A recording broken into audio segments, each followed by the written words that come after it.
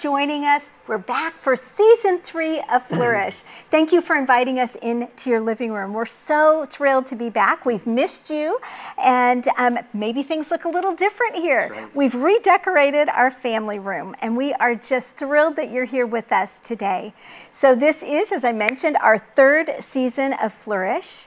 And this whole season, we are going to be talking about family. So we invite you to join us. We hope you'll come every single week and that you'll become a part of our family. Well, you know, we've had a tagline with Flourish where we've said um, that this is a safe place where we can connect woman to woman. And we want that to continue. But occasionally, we're going to have gentlemen on our program as well because we can learn a lot from godly men. So today, I am so honored that I have my beloved husband, Tom, here with us. Tom, welcome. I'm excited to have That's you here for the very first here. program. So thankful that men can flourish too and we That's can be together. Right. That's right. Well, why don't we start by telling our friends a little bit about us? Wow, wow. So I met JoAnn when we were in college together and fell in love in about 10 minutes, actually, and just knew right away she was the one. And wow, has God blessed us? Six children. Yes. 13 grandchildren. Another on the way, so we have almost 14 grandchildren. That's right. So we're praying for about 20 grandchildren. That's right. And we have been married 41 years. 41 years. And in those 41 years, I'll have to tell you one thing that Tom said to me when he asked me to marry him. It was the sweetest thing. I was 19 years old. Tom was 23, and he said to me, he got on his knees and he told me he loved me and all the sweet things. And then he said to me, JoAnn, marry me and I'll show you the world. I'll show you the world. And you know, I'm a little starry eyed 19 year old. I never thought about seeing the world. Um, and I knew he was going to be a pastor. But you know what?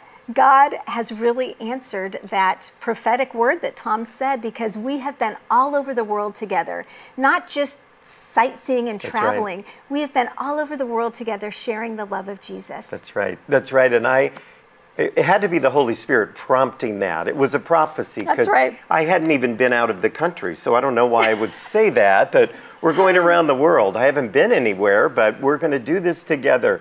And amazingly, God did that, and we've been blessed to yeah. take Jesus around the world to That's different right. countries. That's right. So as we said, we have six kids, three girls and three boys, all adults now. 13 grandchildren, another on the way. Right. God's favor and blessings have been great.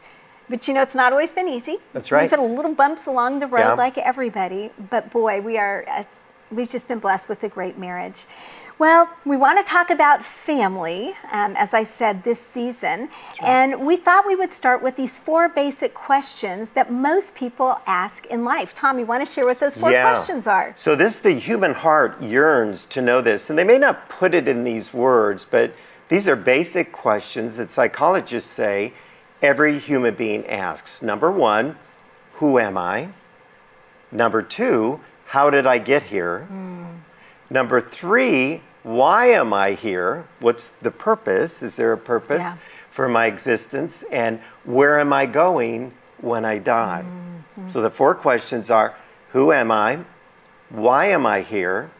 How did I get here? And where am I going when I die? And graciously, the Lord knows that we're asking That's those right. questions, and He begins to answer that on page one of the of Bible. our Bible. So you see, I'm holding up my Bible here. And if you've got your Bible, grab it because we're going to be referring to it to today.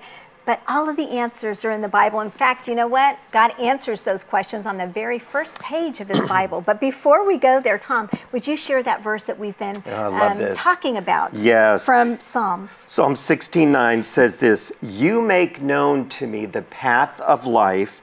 In your presence is fullness mm. of joy." And the history of mankind is this.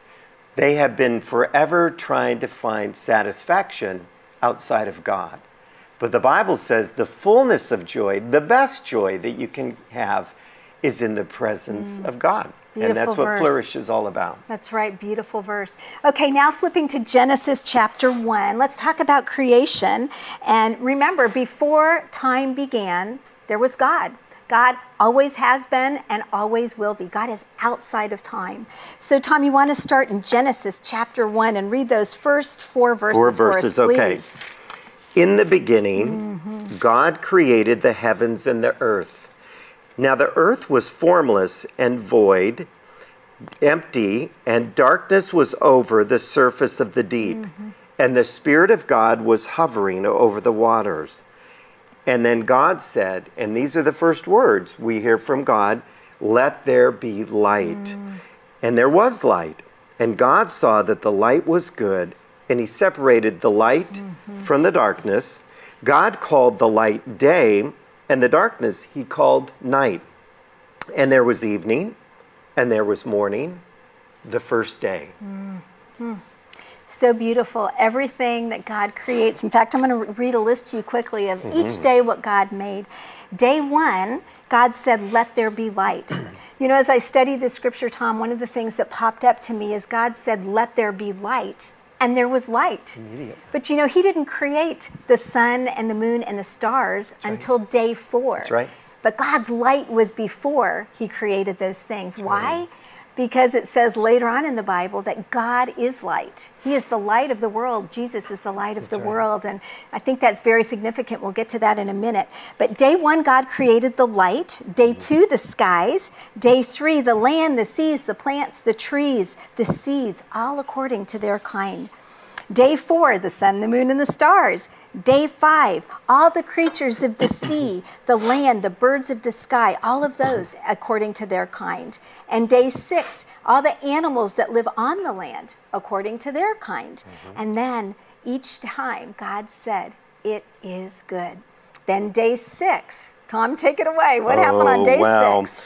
God created man, and I just love this verse in Mm-hmm. one uh, chapter one, verse twenty-six. Then God said, "Let us make man in our image, Mm-hmm. in our likeness, so that he may rule over fish in the sea and birds in the sky, even the lice- livestock and Mm-hmm. all the wild animals and all the creatures that move along the ground, created in the image of God. And so we begin to get the answer to our first question That's right. Who am I? Right, right. So who are we?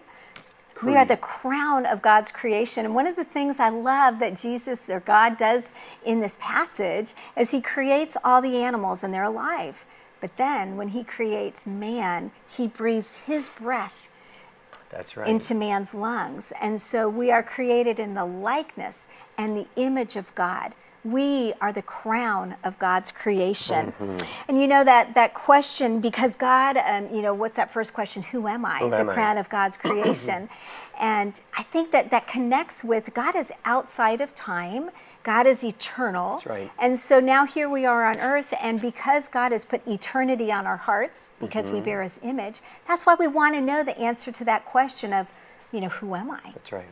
That's right. And you know, the, the word in the original language for image uh, speaks of a coin, where there might be an image of a ruler or a king on it, where people could pick up that coin and immediately they would know who this represents. And of course, Yes. initially, that's exactly what God wanted for us that we would be his light bearers, that we would be his image, that people would see us and then they'd Let's see, him.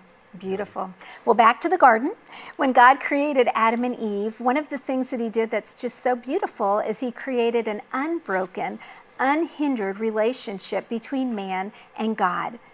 Adam and Eve had a perfect relationship with each other, but they also had a perfect relationship with God. They met with God and talked with him face to face.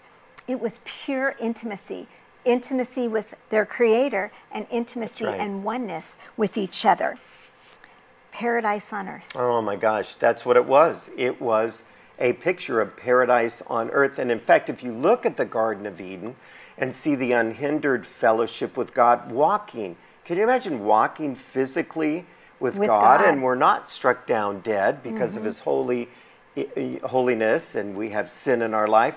It was paradise on earth. And when we look forward to heaven in the book of Revelation, there are glimpses mm-hmm. of what already occurred in the garden. That's right. But unfortunately, JoAnn, things changed. Things didn't change. Before we jump to the fall, though, one thing I think is important that we point out is that God created man and woman in That's his right. image. And so their roles were very complementary. They were told to rule and subdue the earth together, not rule each other, but the earth together. That's so true. And the first thing uh, God gave them was a mission together to be fruitful and multiply. And just like in the Doyle family with six children, Mm-hmm. we, we tried to be fruitful and multiply and do the best to fulfill that verse. That's right. But there was equality in the garden. They were next to each other. Man was not Mm-hmm. given the, the responsibility to rule over woman. He, he was pulled, uh, a rib was pulled from his side.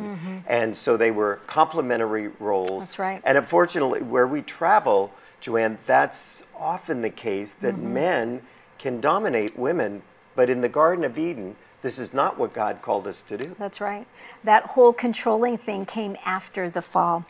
Um, you know, one thing too, when we think about it, God gave this unbroken communication between man and God, and then He had this unbroken communication between husband and wife. They were to have children, fill the earth, multiply, you know, fill up the earth with these children who also were intended to have a perfect communication between God between each other. They were supposed to marry and they were supposed to have the same marriage that Adam and Eve had. And that was to go on and on, generation after generation after gen- generation, creating a legacy of people who had unhindered relationships with their Creator, unhindered relationships with each other, and even, most importantly, in their marriage.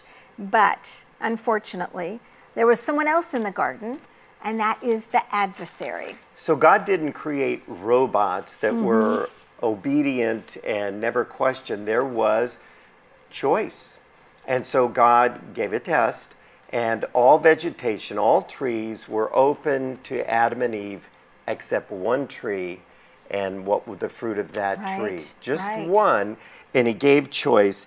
And the presence of that tree showed that God wanted free will. Mm-hmm. He mm-hmm. loved Adam and Eve. He wanted them to obey him, but not out of, you know, dutiful obedience, but just out of the love of their heart. And that's where their problems came. There was a clear command to be obedient, and something changed. That's right. That's right. And you know, we don't know how often the devil, the adversary, Satan, we don't know how often or in the ways that he attra- attacked um, Adam and Eve. Scripture only records the one day that they did give in to that temptation and they fell. And Tom, you want to tell tell our friends what happened that fateful day? It was amazing uh, in creation that um, Adam allowed Eve to take of the fruit.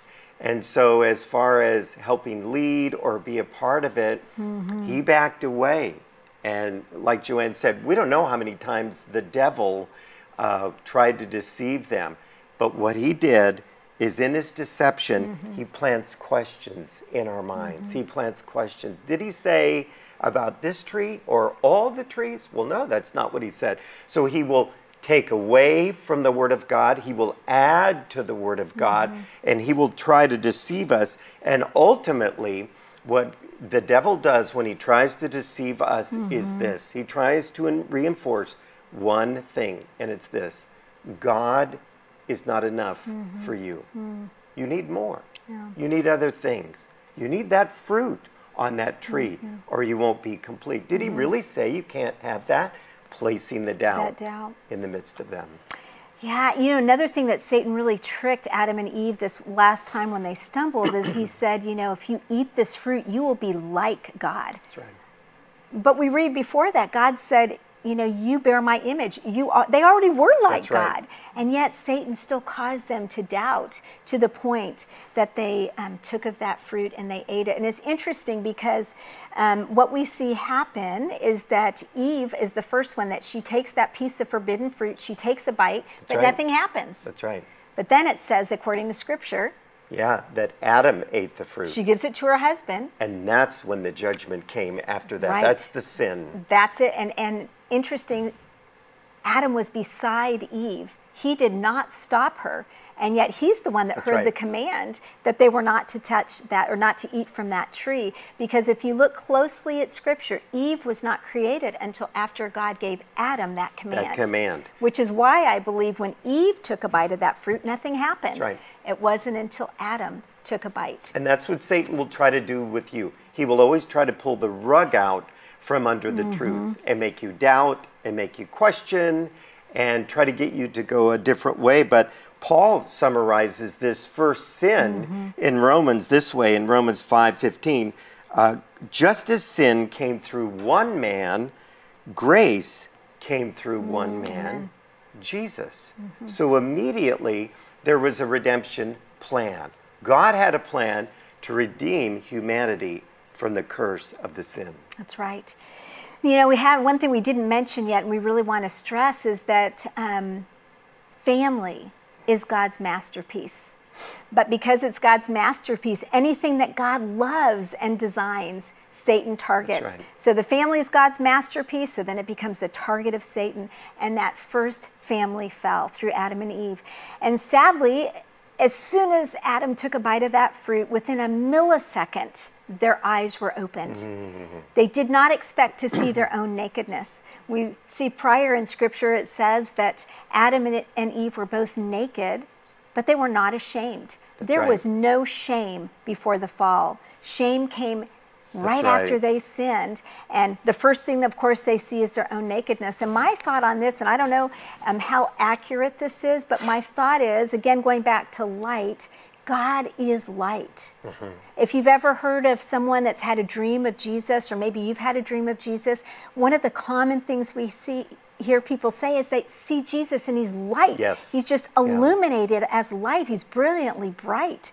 And so I just can't help but wonder were Adam and Eve clothed in the glory of God? Did they bear his image? And in that, mm. were they just covered in light? And as soon as they partook of that fruit and the glory of God departed from within them, did that light leave? right. And then their nakedness was exposed. It's really true. And sadly, when that shame entered, when that nakedness was exposed, what do they do? They go and hide.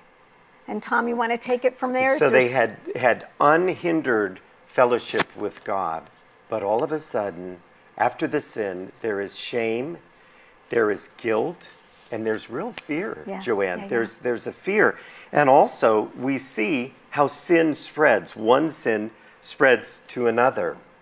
They had this fellowship with God, then they Mm-hmm. sin, and instead of covering each other up or trying to help, they immediately think of self. Mm-hmm. And that's what happens with sin. It's a pattern, it takes off. And so our loving God pursues each one of us amazingly, Mm-hmm. Yes. even when we have fallen into sin. And the Mm-hmm. whole human race was affected by that one act. That's right. You know, God told Adam and Eve that when they sinned, they would die. Mm-hmm. And they did experience death immediately. The first thing that died was their unhindered relationship with God. All of a sudden, that was shattered and broken. No longer do they have that open communication with God. As Tom said, they were hiding. Mm-hmm. So that communication with God was broken. Their oneness was broken. right. As you just said, all of a sudden they're thinking about themselves, not the other person. So that's been broken. And then, you know, bearing children. Women, we know that that's mm-hmm. always different now. We will bear children right. in pain. Work. Men will be pulling weeds out of whether it's a job of toiling in the soil or working in the business world. We're always going to be dealing with frustrations and problems.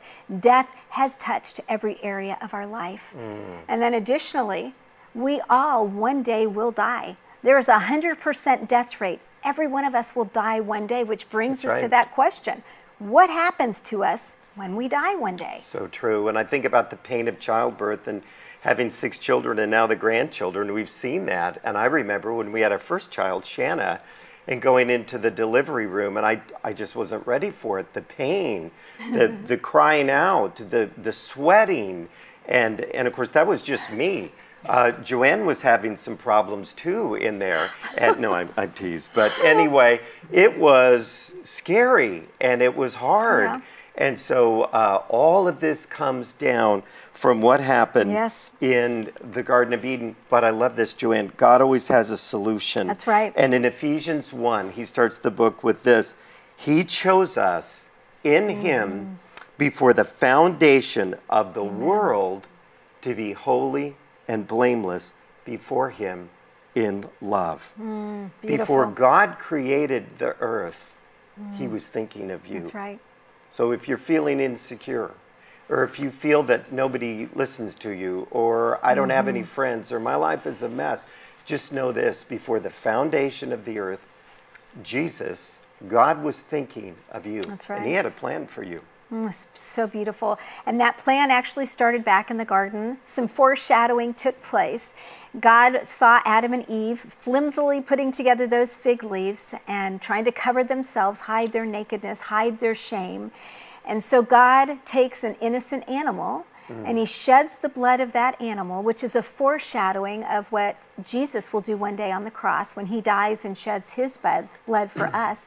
But he sheds that animal, he takes the skin, and he makes a covering for Adam and Eve to cover that nakedness. And now, through that perfect blood of Jesus, he's called the Lamb of God. That relationship with God that was shattered um, can now be restored. That's right. God's masterpiece, Satan's target. The enemy goes after every family, every relationship, every marriage, children. The devil goes after that, but Jesus has a solution. And I love this. We'll go back to our verse again, Psalm 16 11. You make known to me the mm-hmm. path of life. Yes. In your presence is the fullness of joy. Jesus is your GPS to heaven. That's he right. doesn't hide it so you have no idea how can I get here. He's put eternity in our hearts and the roadmap is in the Bible. That's right. And so there is hope. The mm-hmm. bottom line is there is hope. We've answered those questions, the first three questions. Let's review them. And then we want to focus on that fourth question. So, the mm-hmm. first question Who am I? you are the crown of God's creation. You are created, created in the image and the likeness of God. You are the crown of His creation. Second question Two, how did I get here? How did you get here? You were designed by a loving God. Even in your mother's womb, God knew you before you took your first breath. You were created by a loving God. Three, question. why am I here? You are here to have a relationship with the Creator, God who made you. And Number four. where am I going when I die? And there's a choice in that, and that's what we want to talk about now. And so from Genesis to Revelation, all 66 books of the Bible, there is a golden path that's woven all the way through to show us so we could not be mistaken on this. It would be as clear as day how to have a relationship with God, have our sins covered, and be in heaven with Him mm-hmm. one day. That's right. Paradise restored. Exactly. Just as that one sin sacrifice with the animal in the mm. garden was temporary, now we have a final sacrifice with the blood that Jesus shed on the cross. So you have a choice to make. And as it says in 1 John 1 5, Tom, I love this verse. Would you share that with our friends? This is this is how we can tell. He who has the Son has the mm-hmm. life. He who does not have the Son of God does not have the life. So do you know Jesus as your Savior? Maybe you've heard of him, maybe you have good thoughts about him, maybe you have friends that are experiencing Jesus, may have had a, a, a dream about him. We want to ask you this Do you know Jesus as your Savior? Uh, have you given him your life and repented of your sins? Um, what is the path of life? God lays that out to us, and the redeemed life is in Jesus, restoring our communion, communion with God, mm-hmm. and things will change forever. Once that is, relationship with God is established through Jesus. Right, That's JoAnn? right. Exactly right. Oh my gosh, and it's such a beautiful path to follow because following the path of Jesus is where fullness of joy is found. Well, as we said, over the next um, 12 weeks, we're going to be talking about family. And today we talked about the first family in the garden, and we talked about right. how family is God's masterpiece. So your family is God's masterpiece. Because it's God's masterpiece, it's also Sa- Satan's right. target. And so that means your family has been targeted. And so how do we, you know, live a fruitful life? It's only possible in Christ. Right. He's the one that instills hope. And so over these next weeks, these are the various topics we're going to talk about is how we can That's live right. a abundant life in Christ. Mm. Tom, will you close us? I'm sorry, didn't yes. mean to interrupt you, but yes, you, close you may, us in you prayer. may be thinking, uh, my family's not a masterpiece. It's not resembling that. It's quite the disaster right now. Jesus can take a hold of your family and everything can change. Just remember this He says in John 14, 6, I am the way, the truth, mm-hmm. and the life. No one comes to the Father but through me. So let's pray. Mm. Lord Jesus, I pray for every person watching today. First of all, a right relationship, the garden restored, is through the blood sacrifice of mm-hmm. Jesus our Savior. So, for any of you that are watching and you have never given your life to, say, to Jesus as your Savior, please, we plead with you, mm-hmm. pray this prayer right now. Lord Jesus, I know that I'm a mm-hmm. sinner. I know that I've strayed from, from you, God. I, I pray that you would forgive me. I believe Jesus is my Savior, and his death on the cross and his mm-hmm. resurrection and my belief and understanding in faith of this will change my life and give me eternal life. Jesus, I give you my life. Forgive me of my sins. In Jesus' name, mm. I pray. Amen. Amen. Well, friends, if you prayed that prayer, you are a new child of God, and that rela- relationship with Him can be restored. Well, thank you for joining me today, it's Tom and here. friends. Thank you for joining us today at Flourish. May the Lord um, bless you and keep you. May the Lord make His face shine upon you and be gracious to you. May the Lord lift His countenance upon you and give you peace. We'll see you next time. Bye now. Bye bye.